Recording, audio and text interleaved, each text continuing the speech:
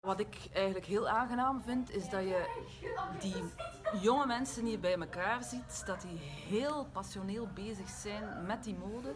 Dat ze ontdekken op een paar dagen tijd wat er in, in hen zit. En dat ze eigenlijk ook merken dat ze heel snel leren. Uh, we maken hier misschien visionaire mensen, mensen die willen ondernemen, ik weet het niet. Mensen die denken over wat ze kunnen bereiken in het leven.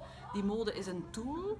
Uh, dus dat Junior Argonauts zoiets organiseert, voor mij, ja, ik vind, vind dat eigenlijk fantastisch dat, dat ze die mogelijkheid creëren. Wat kunnen wij leren van onze kinderen op vlak van ondernemerschap, denk je?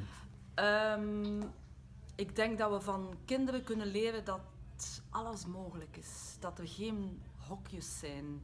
Dat um, er geen structuren zijn. Wat we vandaag zien in de mode ook, is dat die structuur die staat totaal op de helling.